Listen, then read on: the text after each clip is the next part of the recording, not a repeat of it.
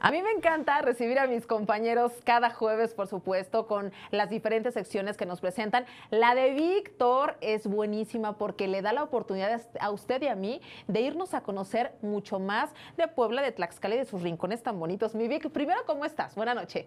Hola, ¿qué tal, mi querida Leslie? Como siempre, muy contento de estar contigo compartiendo el estudio. Y tú bien lo dices, estamos recorriendo el estado de Puebla y Tlaxcala.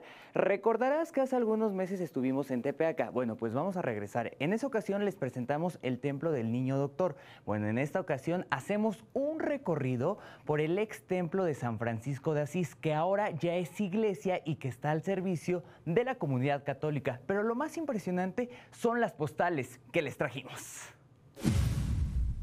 El municipio de Tepeaca, Puebla, resguarda uno de los ex conventos más importantes e históricos de la región. Se trata de la ahora parroquia de San Francisco de Asís y quiero que juntos hagamos este recorrido.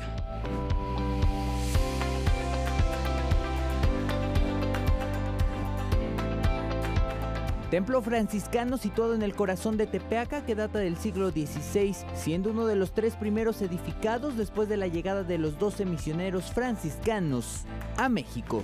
Pues vamos a encontrar elementos muy importantes y valiosos que conjugan la arquitectura española con la arquitectura indígena de aquel entonces. El estilo es eh, gótico, tenemos en la parte de aquí, en el techo, ¿verdad? Podemos ver que es de un solo campanario, una sola torre. Tenemos la terminación con almenas, con pináculos, que le dan esa forma como una corona. Sus muros color hueso albergan una sola nave que es iluminada por una veintena de ventanas, mientras que al interior los visitantes y creyentes aún pueden apreciar las imágenes religiosas correspondientes a los pasajes de los franciscanos.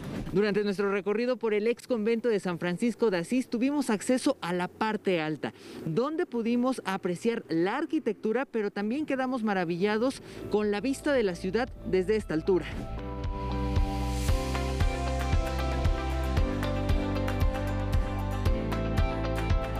Fue a partir del año de 2017 que el inmueble se convirtió en la parroquia de San Francisco de Asís, un centro de culto para toda la comunidad católica de Tepeaca y demarcaciones vecinas. Es importante a nivel histórico, social, cultural y religioso.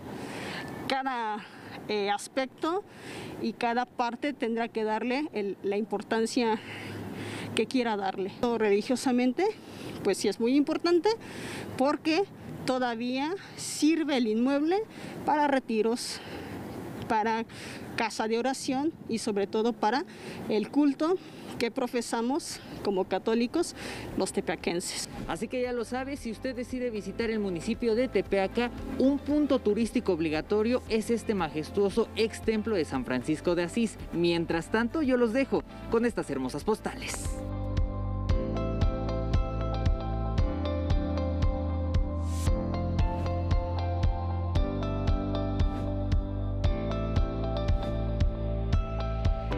Mario Carvajal en el aire, José Manuel Cervantes en la tierra, Víctor Ordóñez, Noti 13. Oye, mi querida Les, de antemano una disculpa, siempre les traemos mi sesión fotográfica con el punto turístico. En esta ocasión hubieron ahí pequeños problemas técnicos, pero en el lugar, en, ese lugar, bueno, pues les trajimos las imágenes de dron que están de 10 y la altura, bueno, ahí desde el templo de, el ex templo de San Francisco de Asís, de verdad que se aprecia todo Tepeaca.